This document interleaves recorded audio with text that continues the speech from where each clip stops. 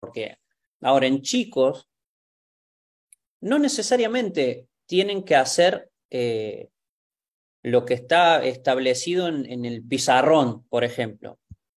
nosotros siempre decimos que terminan jugando los que son más autónomos, no tanto los, los obedientes. Eh, el, tema últimamente es que hay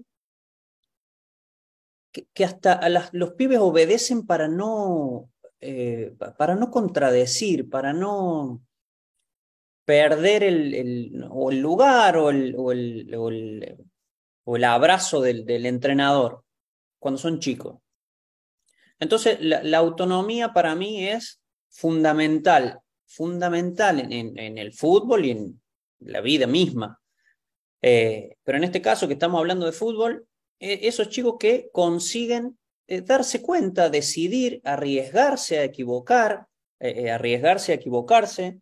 y ahí está la mano de nosotros, que somos los adultos, en, no condenar tanto el error. va a pasar, son chicos, va a pasar, se van a equivocar.